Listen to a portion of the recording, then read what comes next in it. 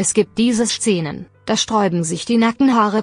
Also die vom Menschen, nicht die vom Hund. In Hannover hat in der Nacht zum 4. April 2018 der Staffordshire Terrier Mischling Chico seinen 27-jährigen Halter totgebissen und dessen 52 Jahre alte Mutter. In der gemeinsamen Wohnung. Feuerwehrleute brechen die Wohnungstür auf und fangen den Hund mit einer Schlinge. Die Obduktion ergibt zweifelsfrei dass die beiden Menschen vom Tier getötet wurden. Zwei Wochen später wird Chico eingeschläfert. Doch zuvor spielt Deutschland verrückt. Fast 300.000 Menschen setzen sich per Online-Petition für den Staffordshire Mischling ein. Tierschützer brechen in das Tierheim ein, in dem Chico untergebracht ist, um ihn zu befreien. Vor dem Veterinäramt kommt es zu einer Mahnwache.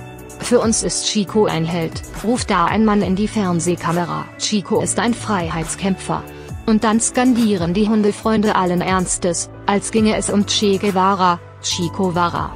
Chico Vara. Chico Vara. Ein Hund, der zwei Menschen totgebissen hat, wird auf der Straße gefeiert. So sehr ist Deutschland auf den Hund gekommen. Das erste macht sich auf eine Reise durch dieses Hundedeutschland und stellt seine Dokumentation unter den Titel Wie gefährlich sind Kampfhunde? An der Antwort auf diese Frage wird das Fernsehen scheitern. Das ist nicht überraschend. Sehenswert ist diese 45 Minuten Spurensuche trotzdem. Schnell sind die rechtlichen Rahmen erzählt. Nur die drei Bundesländer Niedersachsen, Schleswig-Holstein und Thüringen verzichten auf sogenannte Rasselisten, nach denen einige Hundearten nicht gezüchtet, gehandelt, gehalten werden dürfen. Aber wir sehen auf die Frau in Bremen die mit ihrem Staffordshire Terrier an der einen, ihrem Pitbull an der anderen Seite Gassi geht durchs Wohngebiet, vorbei an kleinen Kindern, die sich vor Angst an ihre Mutter drücken. Ist diese Angst nachvollziehbar, will der Reporter von der Hundehalterin wissen. Gar nicht, befindet die Punkt und sie schiebt noch einmal nach.